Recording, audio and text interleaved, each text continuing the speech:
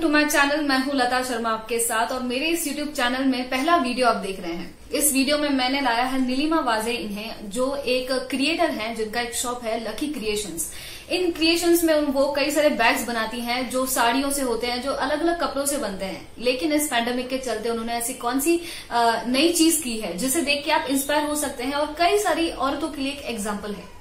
इस वीडियो में मैंने फोकस किया है आत्मनिर्भर भारत पे। इस आत्मनिर्भर भारत में आप देख सकते हैं कि कैसे हमारे जो लोकल लोग हैं वो अपने आप को वोकल कर रहे हैं सारी चीज़ें इन हाउस बना रहे हैं और यहीं पर ही बेच रहे हैं ताकि उनका जो ग्रोथ है इंडिया में ही हो और उनका इसी वजह से मैंने आज ये जो वीडियो बनाया है I hope you guys like it और इसके बाद हम होप करते हैं कि आत्मनिर्भर भारत में मैं, मैं कई सारे वीडियोज़ बनाऊ। टिल देन आप देखिए मेरा video and stay tuned hello मैं नीलिमा मंदार वजे सांगली, महाराष्ट्र से हूँ। तकरीबन 2003 से मैं लकी बैग और लकी क्रिएशन नाम से मेरा बैग का बिज़नेस चला रही हूँ। मैं कस्टमाइज बैग करती हूँ। मेरे खुद के कपड़े से या कस्टमर के कपड़े से मैं बैग सिला के देती हूँ। आपको जो एक साड़ी में बारह प्रकार हर तरह की बैग्स बारह सौ रुपये पंद्रह सौ रुपये में बन जाते हैं। उसमें साड़ी कीच आता है ब्लाउज कीट आता है ट्रैवल बैग आता है फैंसी बैग वगैरह वगैरह बहुत है। आप देख सकते हैं यहाँ पे ये ऐसा बैग्स है। ये देखिए ये ब्लाउज का है साड़ी का है और पूरा क्रॉस बैग ट्रैवलिंग बैग ऐसा पूरा बारह का सेट आता है। खाली अच्छा चल रहा था सब 2003 से लेकर मैं तो खुद ऐसा बैग का ही डेवलपमेंट डेवलपमेंट डेवलपमेंट कर रही थी। रोज नए तरह के बैग डेवलप करना और कारागिर को सिखाना, उनके पास से करके आपको बेचना, ऐसा ही मेरा कारोबार था।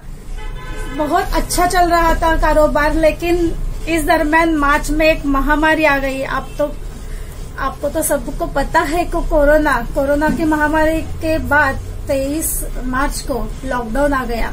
और हमारे दिमाग में ऐसा आइडिया आया कि लॉकडाउन का हम पॉजिटिव सोच सके कि लॉकडाउन में क्या करेंगे क्या कर सकते हैं। क्योंकि देश सेवा तो हमें करनी चाहिए। हम घर बैठ के भी देश सेवा कर सकते हैं। घर में सुरक्षित रह के घर दे, एक देश सेवा ही है कि बाहर जाएँगे तो हमें पॉजिटिव कोरोना का आ सकता है। लेकिन घर बैठेंगे सुरक्षित रहेंगे। इसके लिए हमें सैनिटाइजर और मास्क भी चाहिए।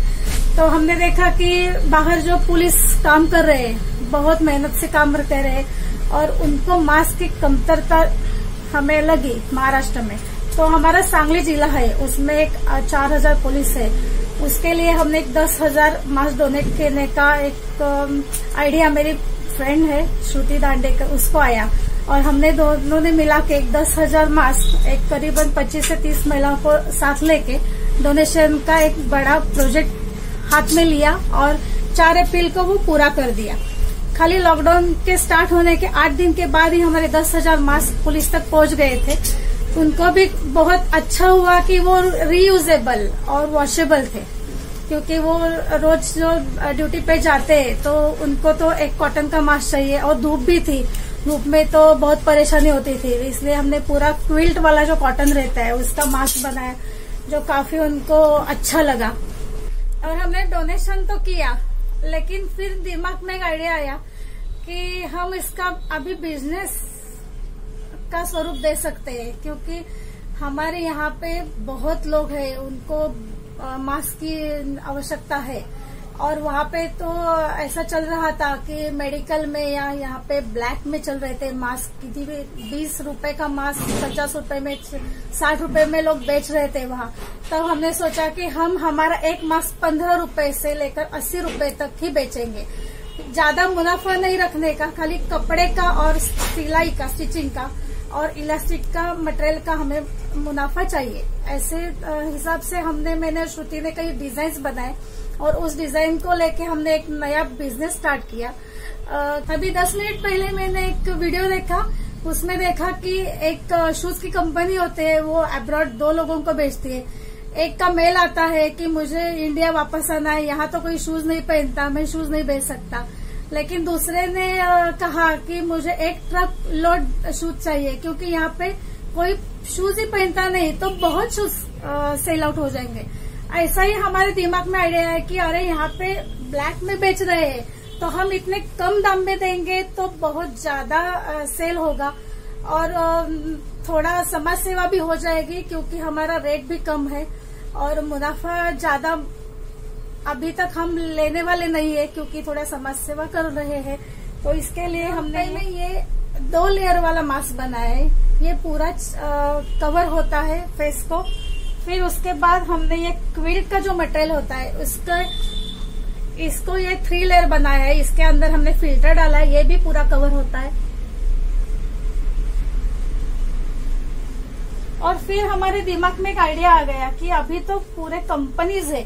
वो कंपनी अपना एडवर्टाइज कैसा करे? तो ये ज़्यादा दिक्कत हो रही थी कंपनीज़ को कि हम हमारा तो एडवर्टाइज चलना चाहिए। तो हमने ऐसा एडवर्टाइज के लिए प्रोडक्शन किया है। ये देखो, ये ऐसा एक प्राइकल बैटरीज है। उन्होंने उन एडवर्टाइज के लिए मास्क बनाया है। इसके ऊपर उनकी कंपनी का नाम लिखा है। अभी गाँव भाग सांगली में पीके दांडेकर गणपति पेट में उनका शॉप है। उनको हंड्रेड इयर्स शॉप के लिए कंप्लीट हो गई, इसलिए इन्होंने ये मास्क कस्टमर को देने के लिए किया है। तो आप अपना कंपनी का इंट्रोडक्शन भी ये मास्क देने से कर सकते हैं, क्योंकि अभी ये इसेंशियल हो गया है मास्क पहनना। अभी आज एक नया इंट्रोड्यूस किया है ओरिगामी ये देखो, ये भी पूरा कवर होता है फेस को।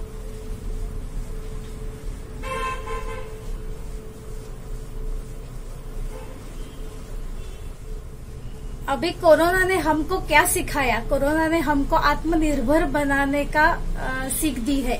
तो मुझे लगता है कि सभी महिलाओं ने खुद घर में कुछ न कुछ बनाकर इंडिया में बेचना चाहिए और आत्मनिर्भर होना चाहिए और कोरोना जैसे महामारी को भारत से हद पार करना चाहिए।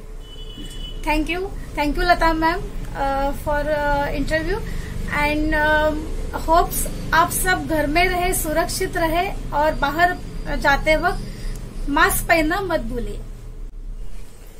तो आपने देखा नीलिमा वाजे जी इनका वीडियो और इस स्टोरी में मैंने उनसे कई सारे सवाल पूछे, उनकी जर्नी के बारे में पूछा और इस जर्नी में आपने देखा कैसे उन्होंने मास्क बनाए और मास्क डोनेट तक किए हमारे कोरोना वॉरियर्स को, जिन्होंने हमें, हमारे सांगली में कई सारे लोगों को सर्व किया है। पुलिस वाले जो दिन रात हमारी रक्षा में यहाँ पे लगे हुए हैं। उसी के साथ इस कहानी में आपने ये भी देखा कि कई सारे ऐसे बाकी सारी औरतें थी जो मिलकर इनके साथ काम किए और ये बहुत ही एक अच्छा एग्ज़ाम्पल है हम सबके लिए कि इस पैंडेमिक के चलते, इस महामारी के चलते हम सबको साथ में होना चाहिए और ऐसे अलग अलग काम करने चाहिए, ऐसे अच्छे काम करने चाहिए जो दूसरों की मदद करें।